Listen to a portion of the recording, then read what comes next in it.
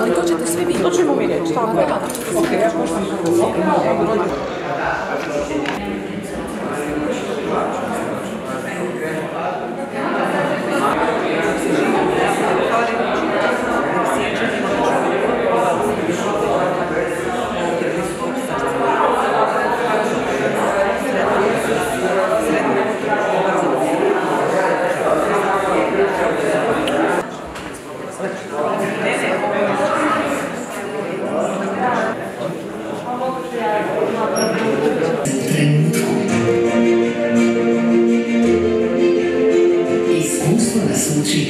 najboljim stvarima treba dati vremena da sazriju.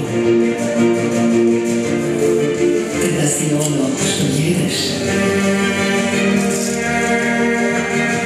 Udišeš. I da istinska delikatesa ne dolazi modnom suveniru. E, Tradicija e, prati ide u korak e, s vremenom i sa potrebama potrošača, tako ćete uskoro čuti o čemu je točno riječ. E, Za sada, za početak, e, da kažem nekoliko uvodnih riječi i da nas uvede u cijelu ovu priču, e, pozdravite možda gradonačelnika grada Velike Gorice, gospodina Krešimira Ačkara.